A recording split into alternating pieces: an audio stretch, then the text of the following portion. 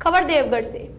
देवगढ़ में गुरु सौभाग्य मदन गौशाला में गोमाता की बछड़े सहित पूजा अर्चना करके माताएँ अपने पुत्रों को तिलक लगाकर तलाई फोड़ने के बाद लड्डू का प्रसाद गोपालक को वितरण करके बछवारस पर्व मनाया है।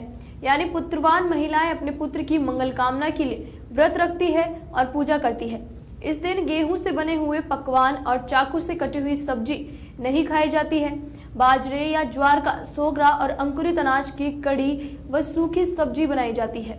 महिलाओं सुबह गौशाला पहुँच, गौमाता की विधिवत पूजा अर्चना करने के बाद घरों या सामूहिक रूप से बनी मिट्टी व गोबर से बनी तलैया को अच्छी तरह सजाकर उसमें कच्चा दूध और पानी भरकर उसकी कुमकुम मोली दूध, धूप दीप प्रज्वलित कर पूजा अर्चना करती है और बछ बारस की कहानी सुनी जाती है।